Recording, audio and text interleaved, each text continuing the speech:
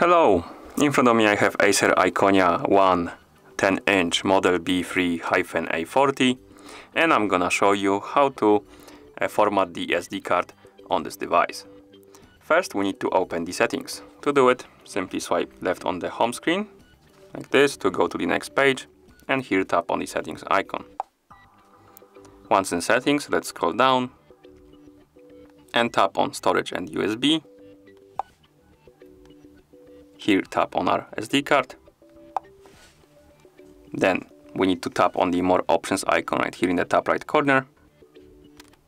Select uh, settings. And here we have the format option. You can tap on format, then tap on erase and format. Wait until the device, or rather the SD card is done uh, being formatted, and then tap done. As you can see, our SD card was formatted because it was 2 megabytes before, now it's 190 kilobytes. And now, once we're done, we can just press home button, go back, and that's how you format the SD card on this device. Thank you for watching. If you found this video helpful, please consider subscribing to our channel and leaving the like on the video.